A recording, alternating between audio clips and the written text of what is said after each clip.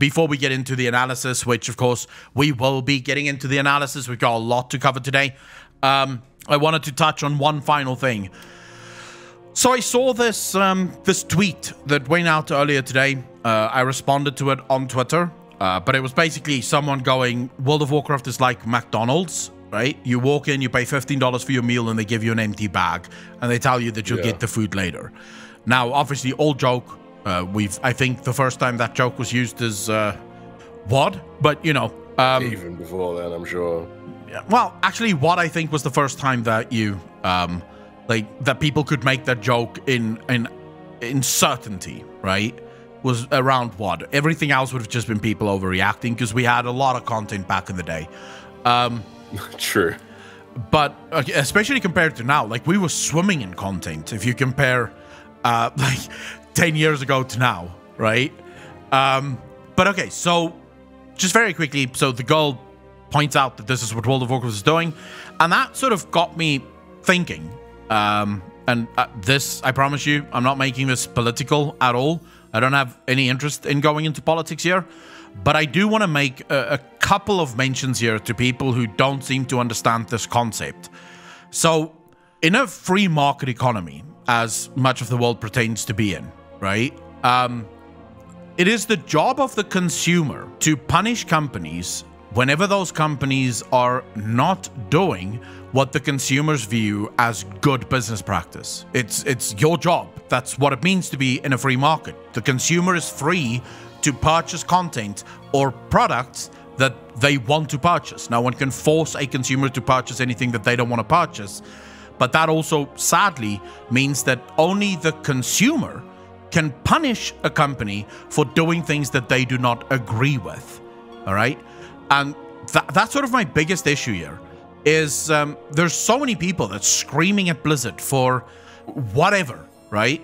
And and my thought process around this is if you're screaming at the company but not actually taking action against the company, in the only way that you can, which is to vote with your wallet, or at least in the case of World of Warcraft, you don't even have to vote with your wallet. You can just stop playing the game since their biggest thing is engagement. If you're not logging in, their engagement tanks, right? And that means that their shareholders get very angry very quickly. Um, but the problem is that most people don't seem to understand that. So people will complain and complain and complain, but they'll keep gobbling up the shit. And actually, the worst part of it is the people that just think this is as good as it gets. Like, what, I, what, what am I supposed to do? I'll just play this piece of shit, right? Um, so I, mean, I don't think people. I mean, that's half our viewer base, right? It's just like we'll watch this shit instead of anything else because we're used to it. yeah, I, I, thank all of you for being here. Um, even though I'm sure you could find many better places to be on a Monday evening uh, or a Monday afternoon or a Monday morning, depending on where you are in the world. Uh, but I do thank you all for being here. Um, capitalism at work. um, but yeah, so it was just sort of interesting to me that, and by the way, the reason I bring this up is the person that tweeted this out just a month ago were basically tweeting out, like before all of this bullshit happened, they were like one of those people that kept telling people to stop complaining and stop saying bad things about Blizzard. I remember that's one of the reasons I had to like unfollow a couple of people that kept liking her fucking tweets and putting her on my timeline. So I eventually just reached a point where I was like, motherfucker, can, can you guys just stop putting her on my fucking timeline? For the love of God. Uh, so I did that thing where you click the post and you say, see less of this, right? Um, so that even when people like it, they don't have to fucking worry about it. Uh, so just a month ago, she's tweeting that out. And now, and this is just sort of what I want to feel like I think most people aren't. Uh, I think a lot of people are catching on to this. Right? I think a lot of people are catching on to this. How many content creators do you guys think are now anti Blizzard because it's fashionable? Because it's going to get lot. them the most clicks? I mean, of course, there's going to be few that are chasing the clickbait, right? They're chasing the algorithm, they're chasing money because that's the point of doing it, right? But yeah, I don't know. There's maybe it's just me being like optimistic and seeing good in people where there is none, but I like to think that they at least have some fundamental level. They mm-hmm. give a shit about it, but it's overridden by the want for money.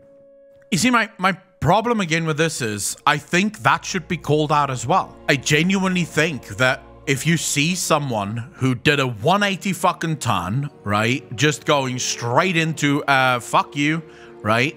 Um fuck Blizzard from a month ago being pro Blizzard, it should be called out. It should be said, well, now you're and I'm not talking about people that's criticizing the company, right? We all know why people could have done a 180 on the company.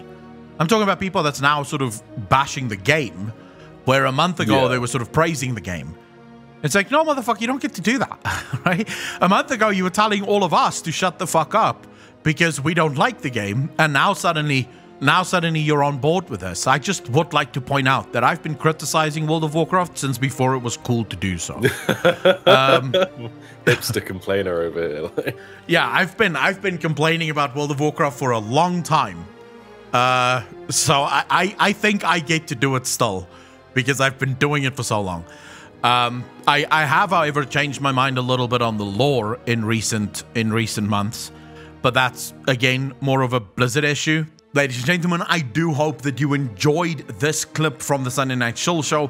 If you enjoyed it and you want to watch it live, the link to the main channel will be in the description down below. And of course, remember to slap a like on this video, hit that subscribe button, and smash that bell. It does help out. To all of the patrons, thank you so much for your monthly support. It does mean the world to me. And of course, it makes streams like this one possible. So from the bottom of my heart, I want to thank you. Consider becoming a patron. Link in the description down below. Ladies and gentlemen, as always, I will see you in the next one. Peace out, fam.